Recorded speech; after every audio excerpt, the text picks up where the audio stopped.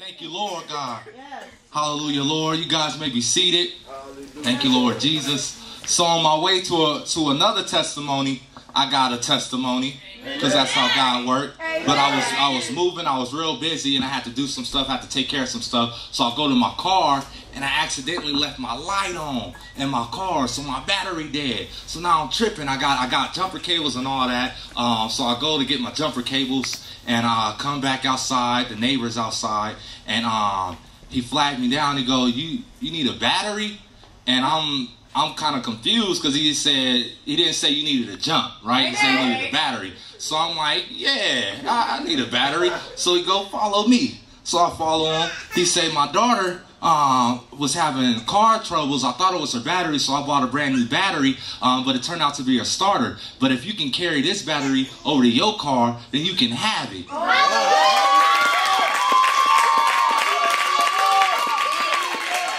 Brand new battery, perfect size, Honda, right?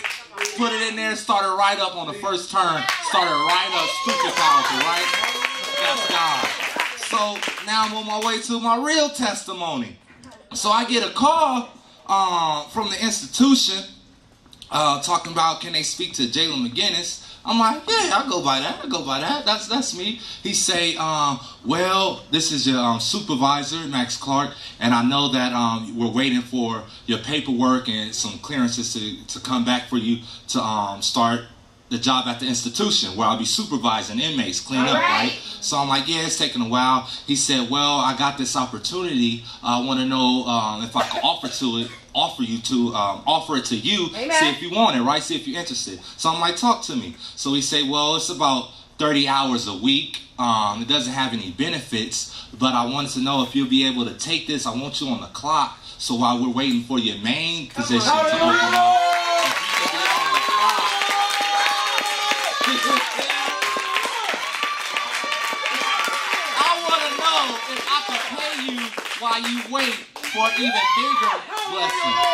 If I can pay you. Hallelujah, Lord. Right on time. We're just talking to Pastor how this stuff is about to clear, but I'm gonna keep working for it. I'm gonna keep work. You know, I'm not tripping about that. Amen. It's gonna clear, you, right?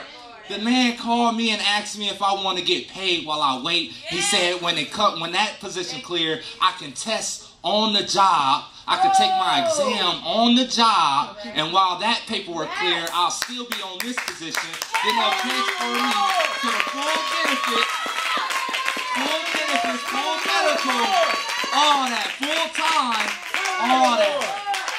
And then he finished that up and say, Are you interested? I said, Show you right. Sign me up, right? Sign me up. You feel me? Hallelujah, Lord. But in between that, we was doing work here. We was working for the kingdom. We progressing the kingdom. We building the kingdom. We adding to. We didn't stop uh, midway through. We didn't stop uh, because we waiting for this, or uh, I didn't have the gas money, uh, so I couldn't make it, or uh, I'm stressed out about this job, so I can't work for you guys. That didn't work. That's right. That didn't happen. At. We kept focus here. We kept building. We kept Amen. digging. We kept cutting here, trimming stuff back. And because of that, God trimmed some stuff back on my part. Hallelujah. God cut some stuff back on my part. Took the enemy away. So now we're able to flourish. We got new growth in the farm. Hallelujah, Lord. And we're going to praise this thing out. We're going to celebrate it because God is still alive today and forever. Hallelujah, Lord Jesus. Thank you, Lord. Thank you, Lord. Thank you, Lord Jesus. Hallelujah, Lord. Hallelujah, Lord. Before we go to the word, while you're yet standing, I just want to make mention of some truly wonderful people. Amen. Amen. How you like this sign? How this sign? Yeah, that's because we have such a great sound department. Amen. And in that sound department that's growing mightily, amen. Uh, we have people that are not even in the department really, but they make things happen. Amen. Amen. They make things happen. And I just want to give God some praise for for uh, Minister Erica. Working, work so diligently to um, hook all this sound up and the men that came out and, worked. Amen. You know, they could hear us now in the nursery as we speak. So the nursery workers can hear the word. Amen. People out in the foyer can hear the word. You understand? Because we have men that come out and work. Amen. Yeah, the trenches and things and, and uh, buried the underground. Didn't even have to be because the tables we bought were weatherproof for outdoors, but we just do everything in the spirit of excellence. Amen. And I want to thank God for those of you that come out here and work during the week, on the weekends, the cleaning crew come in here on Saturdays early in the morning cleaning. And, and it's just a beautiful, beautiful situation Amen. we're in. And I want to thank God for each and every one of you that help with your time, your, uh, your money, your sweat and tears and everything. Amen. We have some truly, truly wonderful people here at the Power of Love community. Amen. Let's give God a hand praise. Amen. Let's give him some glory. Turn to the neighbor. And one neighbor, just give him a great big hug and tell him you are in for a treat this morning. May be seated in his midst. Amen. This morning, our scripture will come from the book of John in the eighth chapter of the book of John. We'll read the 54th through the 58th verse of John 8. And then we'll get Genesis 22. John 8, 54 through 58. Amen. Now, notice there's a lot of verses in this chapter, amen. A whole bunch of them. So, in order to give you the background, we're not going to read the whole chapter because it, it starts in the first verse.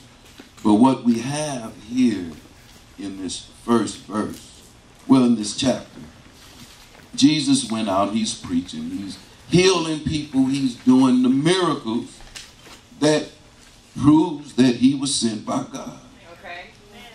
While he's preaching, this is while he's preaching, you got the scribes and the Pharisees. Didn't come to hear the word, didn't come to grow.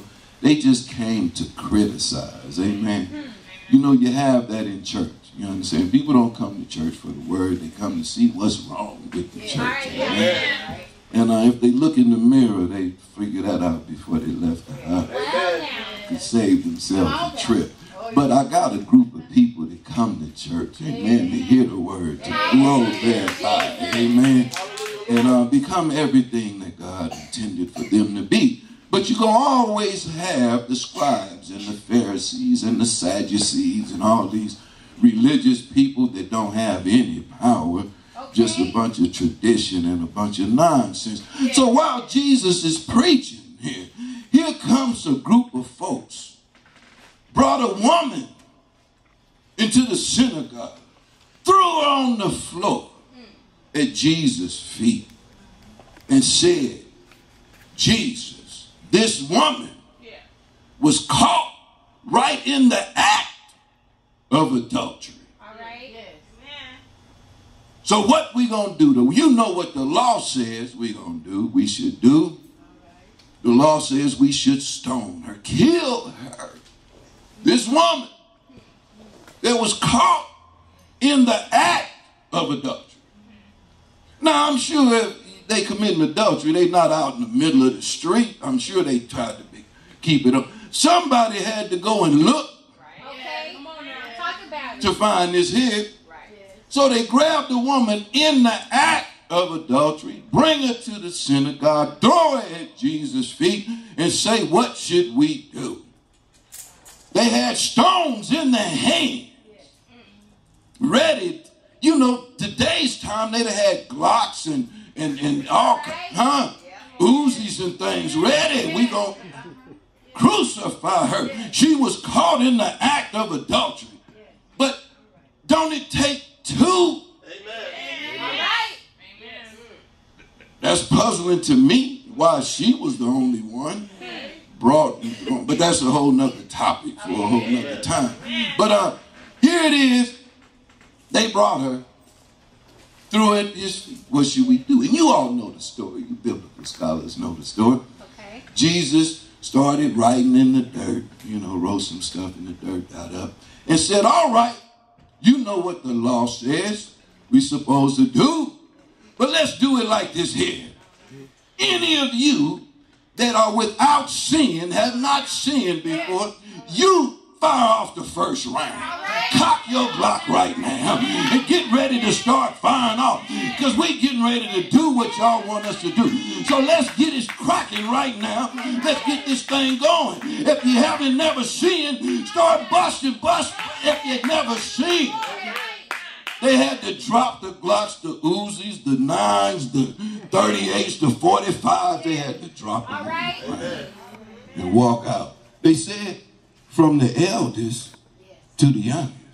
That meant them old ones had been around a while. They, they had a whole bunch of sins. So they was the first one to drop theirs. And, and said, let's get on up out of here. Because uh, Come on, Pastor. I can't bust. Okay. I can't throw a stone. So I got a whole bunch of sins. Come on, Pastor. So, here it is Jesus preaching. Now, he's talking to the scribes and the Pharisees. They want to know, how can you tell this woman her sins are forgiven? Because he said, ask her. He said, now, baby, where are your accusers? Where are the ones that accused you? The one that went wherever you were, behind the bushes, or and snatched you. Where are they now? She said, I don't have any. He said, I don't accuse you either. Go thy way, daughter, and sin no more. The scribes and the Pharisees, they didn't leave. They said, who is he going to tell her her sins are forgiven? How he had the audacity to tell this woman, go her way, sin no more. How can he say that to her? Who does he think he is? How can he say that? Well, Jesus said it like this here. Don't worry about who I think I am, because I know who I am. All right. Amen. Thank you, Jesus. And see, and if you really love God as you claim, you would know who I am. But since you don't really love God, you just coming to church to see what's wrong. You just coming to church to see who ain't getting along. You just coming to church to see who's screwing who. You just coming to church to try to find some dirt. You just coming to church to Come on now. Teach. And since that's the case, you don't know nothing about God. All right. He's told him, You are of your father, the devil.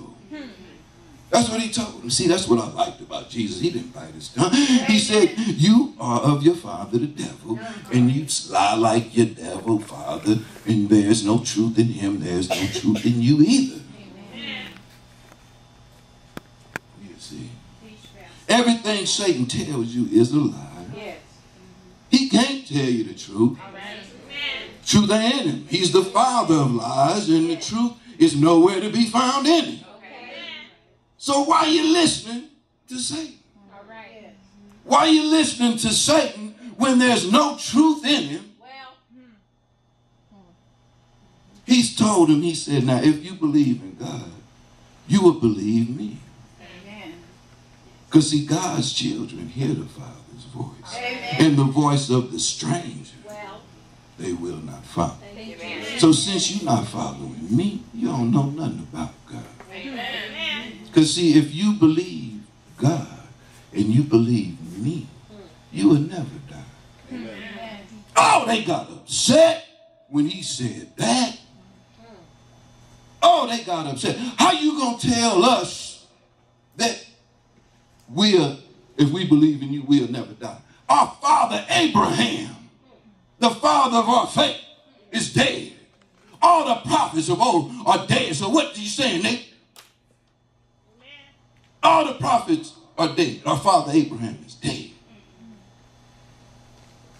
And you're going to tell us that if we believe in you, we'll never die. And our father, Abraham, is dead. That's the first, uh, about, what, 55 verses in a nutshell. Now, read the 56, please. Jesus answered, If I honor myself, my honor is nothing. It is my Father that honoreth me, of whom ye say that he is your God. You say he's your God. Come on. Yet ye have not known him, but I know him. And if I should say, I know him not, I shall be a liar like unto you. Mm, I'll be lying like y'all. I'll be lying like y'all. But I Jesus didn't bite his tongue. He told folks exactly who they were. Amen. He didn't bite his tongue. All this sugarcoating stuff. Trying to be politically correct and all this old nonsense. Well, ain't today, what's today's day? What's the day? What's that? Yeah, I know, but what is it? Sunday. Huh? Sunday. What else? Halloween. How, what else? Halloween. Halloween. The Devil's Day. Yeah, yeah, Halloween. All right. Now, this this is how crazy the world is. Let me tell you how crazy the world is. You can't go, you got to have a costume to go to school because they celebrate Halloween. So all the children got to have a costume. Go to school, celebrate Halloween. Costume, got to have costume. Got to wear costume tomorrow. Mama, you're going to get us a costume. Halloween, you're going to get us a costume. But you can't say Christmas. You can't say Christmas. All right. You can't say Christmas at work. You got to call it Xmas. You got to X out Christ. And let's just spend money. Come make you go, hmm. But back to this here. Here it is. Here it is. Jesus now is telling them, read that again, preacher. If I honor myself, my honor is nothing. If I honor myself, my honor is nothing. I'm not honoring myself. Go ahead. It is my Father that honoreth me, Mm-hmm. of whom ye say that he is your God. Mm-hmm. Yet ye have not known him, but I know him. And if I should say I know him not, I shall be a liar like unto you. See, I know him. Y'all don't know. Because if you knew him, we wouldn't be all caught up in all this nonsense that we caught up in. But I know him. Go ahead, preacher. But I know him, mm-hmm. and keep his sayings. Your father Abraham rejoiced to see my day, and he saw it and was glad.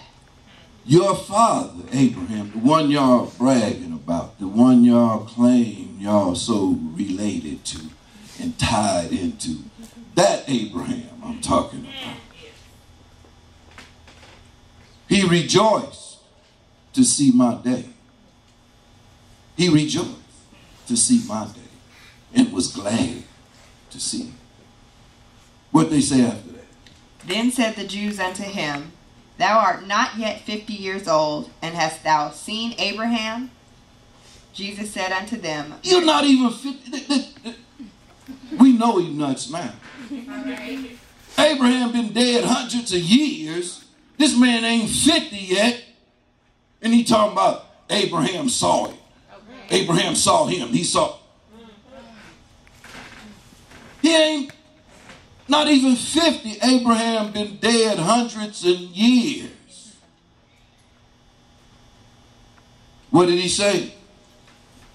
Jesus said unto them, Verily, verily, I say unto you, before Abraham was, I am. Before Abraham was, I am. Before Abraham was, I am. Now, if that's not macking, I don't know what is. Before Abraham was, I am. They put so much stock in Abraham, and there was a reason for it. And we're going to find out why they did that. But Jesus had to let them know before Abraham was, I am. Before Abraham was, Thank you, Lord Jesus. I am. Now we're going to go to Genesis and find out how did Abraham become so great? How did he become that? Well, Genesis 22 gonna let us know. Genesis 22 in the first chapter. Go ahead and read the first. We're gonna start in one. Yeah, go ahead and read it. And it came to pass after these things that God did tempt Abraham and said unto him, Abraham, and he said, Behold, here I am. And he said, Take now thy son, thine only son Isaac, whom thou lovest. The only son you have left, whom thou lovest. You love this boy. Because see, he has another son named Ishmael. But Sarah Tripp got jealous, you understand, sent Ishmael and his mama away into the wilderness. So now he only got one son left. This is his only son. This is the son of promise Okay. that God promised him. He's 90 something years old when God gave him the promise that he would have a son and his wife's womb was dead. She almost 90. And it didn't come to pass until he was a 100. Now, this years later, he only got one son left, and now God is testing him. Go ahead, preacher. thine only son Isaac, whom thou lovest, and get thee into the land of Moriah, and offer him there for a blunt burnt offering upon one of the Watch out mountains. now. The blunt, that's burnt. For a burnt offering upon one of the mountains which I will tell thee of. He's telling him, now take your only son. And this is what I want you to do with your only son you got left. I want you to take him to Mount Moriah, the region. There's a bunch of hills, about seven of them, where Jerusalem is today. It wasn't called Jerusalem, it was Mount Moriah. It's the citadel where the city of Jerusalem is right now. And there were about seven hills in this region right here. So I want you to take your only son to this mount and I want you to kill him,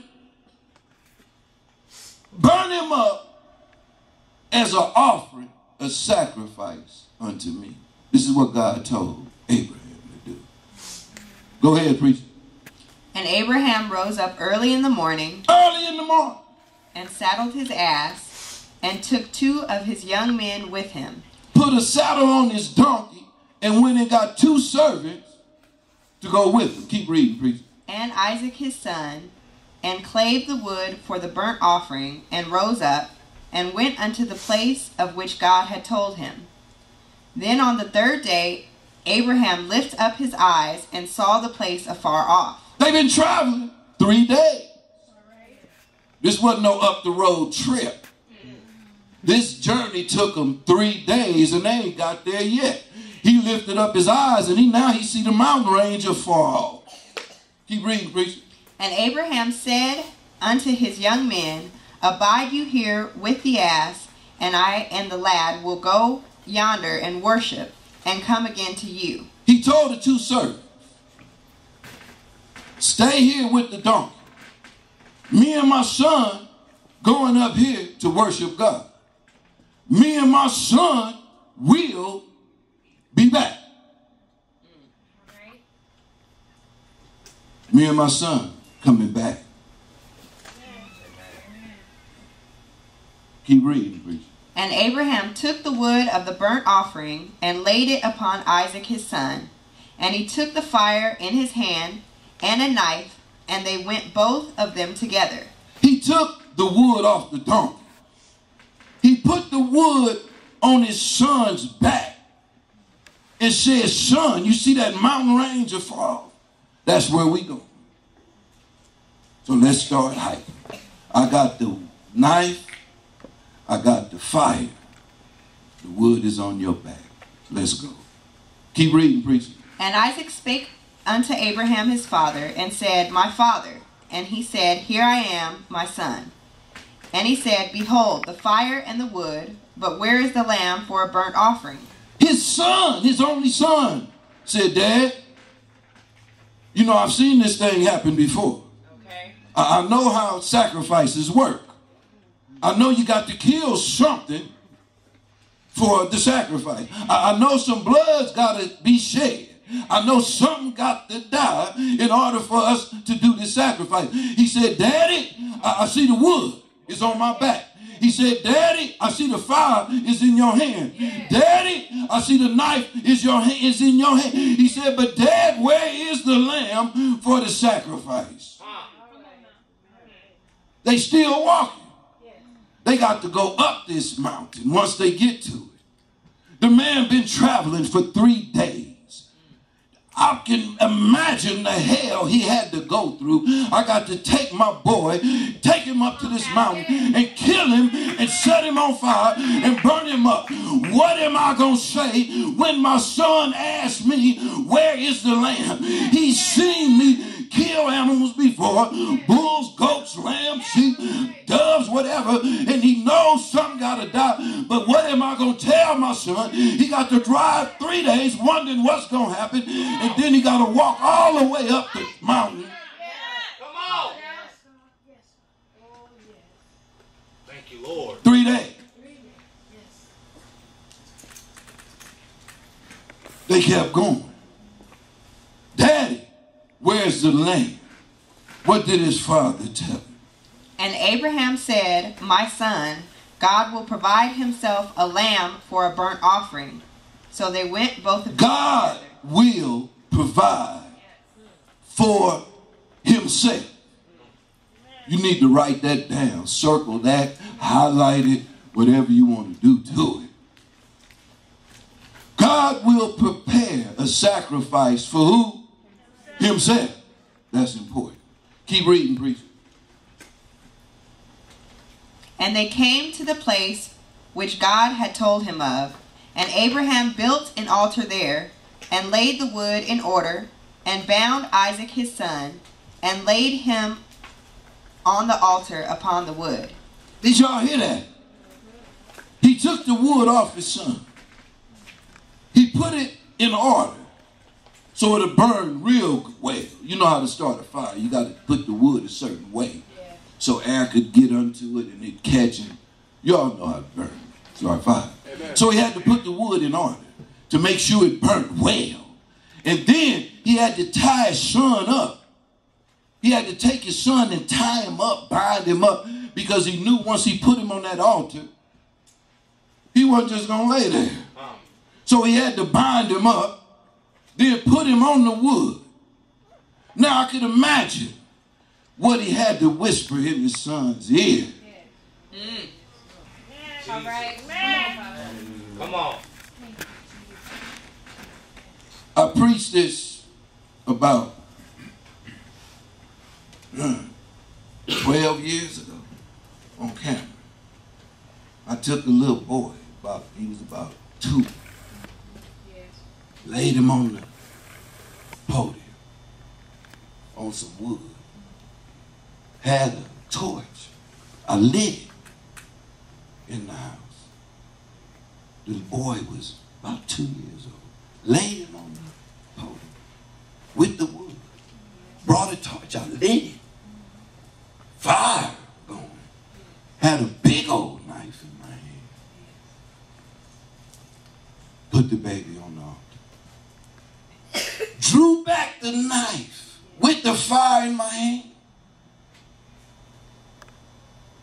When I drew back like this here, the boy's mother said, oh!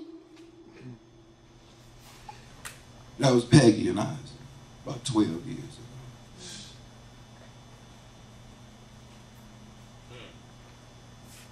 Now, 12 years later, it's more realistic. Come here, Isaac. Because, see, a two year old couldn't carry wood Huh. Come on. on his back up a mountain. So the boy had to be at least big enough and strong enough Okay. to put wood on his back. And he walk all the way to the mountain. And then walk all the way up the mountain. On, Now I got to bind this boy up. Yeah. Now I got to lay him on the altar. And get ready to kill him. Lit the, drew the knife. And what happened, And Abraham stretched forth his hand and took the knife to slay his son. And the angel of the Lord called unto him out of heaven and said, Abraham, Abraham. And he said, Here I am. Here, Abraham. Abraham, Abraham said, Here I am. Go ahead, preacher, read it. And he said, Lay not thine hand, Lay not thine hand on the lad. Don't touch him.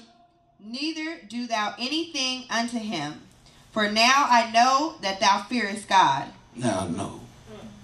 seeing thou hast not withheld thy son, thine only son, from me. Now, I know that you trust God Amen. because you were willing to give up your only son. All right. Amen. You were willing to make a sacrifice. But he said, since you're willing to give up your only son, you don't have to. Thank you, Lord Jesus. I got a ram in the bush for you. Come on. Since you were ready, you don't have to. All I needed to know was would you? Amen. That's all I needed to know was would you? So what happened? And Abraham lifted up his eyes and looked, and behold, behind him a ram caught in the thicket by his horns. Mm-hmm. And Abraham went and took the ram and offered him up for a burnt offering in the stead of his son.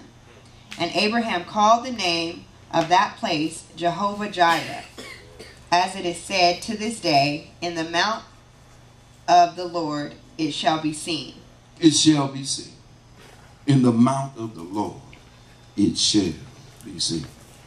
In the mount of the Lord it shall be seen. Abraham rejoiced to see my day and was glad. Mm. Abraham is on Mount Moriah, getting ready to sacrifice for God. Come on. He looks up. god Golgotha's hill is only a hundred or so feet away.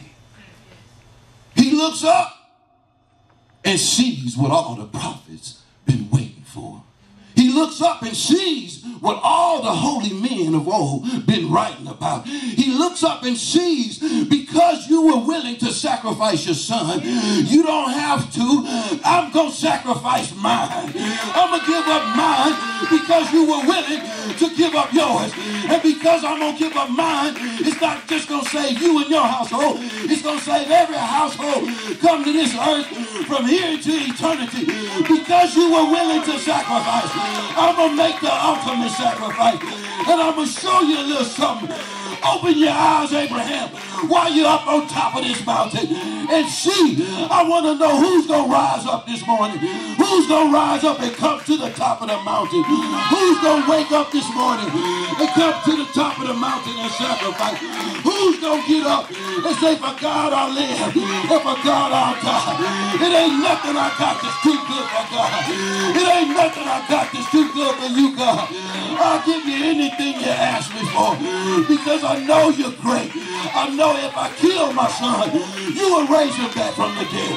If I burn him up, you will make the ashes stand up and walk. If I kill him, cut his head, you will put it back together because you're just that kind of God.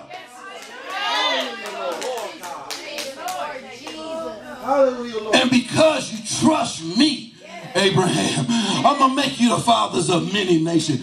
Everybody on the earth gonna be blessed because of what you just did.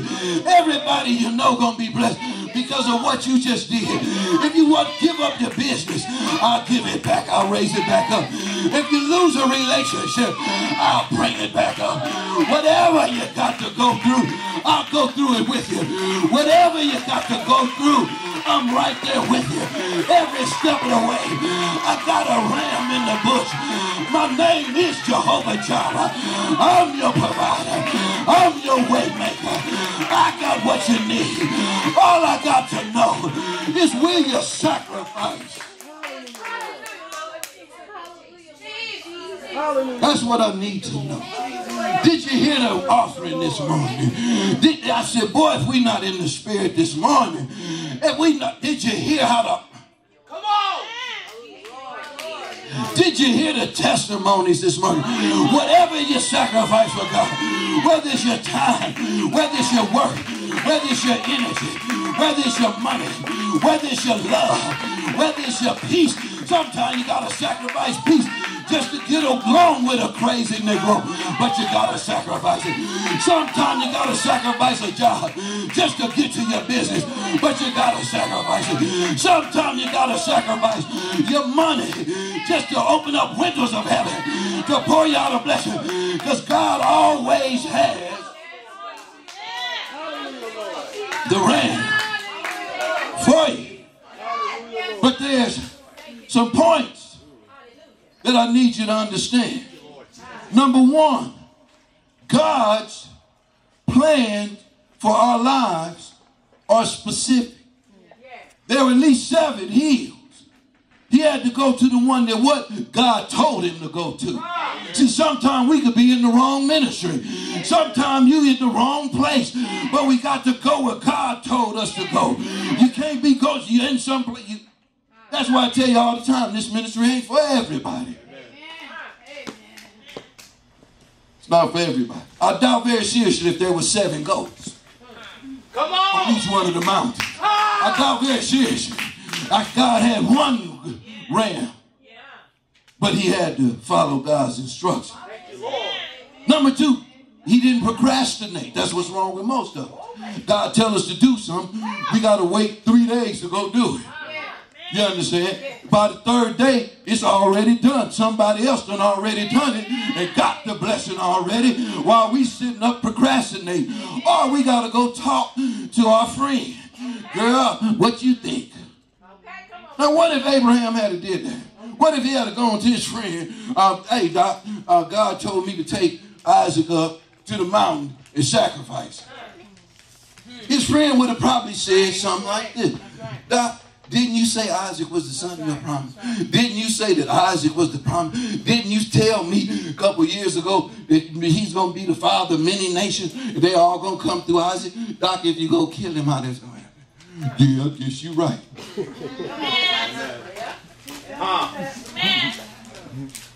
Now, there's nothing wrong with going to your mentors, somebody that's been through some things. You understand? Somebody that's done raised families, somebody that's accomplished something in life, somebody that's doing great things. It's okay to go to them because they'll probably tell you, well, if that's what God told you to do, do it quick. Hurry up and do it because He will make a way. But see, sometimes we talk to the wrong people that ain't got a dime, ain't got a pot or a piss in or a window to throw it out of, but we want to go ask them for advice. Come on. He got up early the next morning. Didn't tell nobody, his friends, none of them. Teach these two boys, get put the wood on there and let's go. He got up and got on the good foot. Thank you, Lord.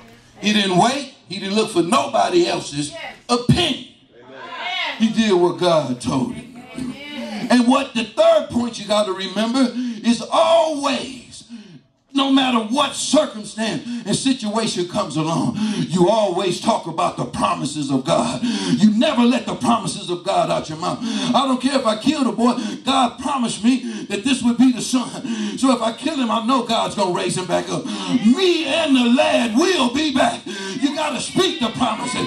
You got to speak them. Always speak the word only. And then the fourth and last one, Abraham acted on what he believed. He the three-day journey. He bound up his son. He put him on the altar. He lit the torch. He drew back the knife. He acted on what he believed to the point where his son started believing. His son lay there, wasn't worried about a thing. Because if you believe, I believe, God. If you believe God, I believe, God. Daddy, I'm going to lay here, do what you need to do. See, sometimes our faith will help our proteges, but we start talking about the wrong stuff. We start acting stupid. Now, when your faith is supposed to be so strong that it'll let. Can you imagine what a time I'd have trying to tie Isaac up and put him on a fire? Come on now. Come on now. Come on. See, your faith can be strong enough that it'll touch somebody else. Amen. If we grow up and Amen. quit tripping. Grow up and Amen. quit tripping. And then what do we see? We see what everybody's been wanting to see. He looked and he saw God sacrifice his son. He said, Abraham saw my day and was glad to see. Amen. How many of y'all ready to see Jesus? How many of y'all ready to see Jesus? You know, we celebrate Halloween, all this, but how many ready to celebrate Jesus this morning? How many ready to celebrate Jesus this morning? How many you ready to worship the Lord this morning? He said, we're going up to the mountain to worship. We're going up to the mountain to sacrifice. Well, I'm asking somebody to sacrifice this morning. I'm asking somebody to bless the Lord this morning. I'm asking somebody to close this month out on this day where the world is celebrating Satan and demonic things. I'm asking somebody Thank you, Lord God. to let's celebrate God this morning. Amen.